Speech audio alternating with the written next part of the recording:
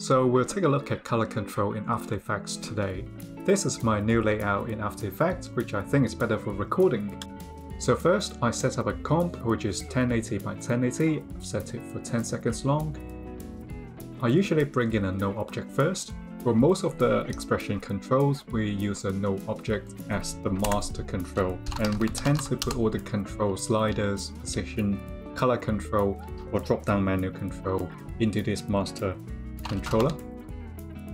And in Effects Controls, right click, select Expression Controls, and there is the Color Control effect. So what does Color Control do? The most straightforward use case is to pick a color and then use it to control another layer's color. Here's a quick example. First create a shape layer. I'll set the stroke as none and the fill as something not black.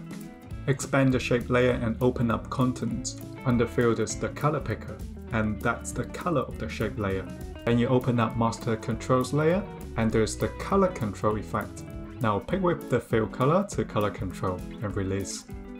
You can now change the color of the shape layer by simply picking a color on the color control. So that's the most common use case. When you have hundreds of layers in a project, which is not uncommon, it makes life a lot easier to bring some of the color properties under one layer. But the way I like to use it to incorporate with my editing is to use the color picker to get the theme color of the footage. So here I've got a composition, I've set up the rig here. Instead of showing you how I built this, which will take some time, I'll show you how you could use this as a MOGRT in Premiere Pro. But let me give you a quick rundown of how I did this in After Effects. First, I've got a shape layer with 5 small squares. Each square has got its own fill color, and then in the master layer, I set up five different color controls. Then I pick whip each square's fill color to these color controls. Now let's hop into Premiere Pro and see how we can use this as a MOGRT.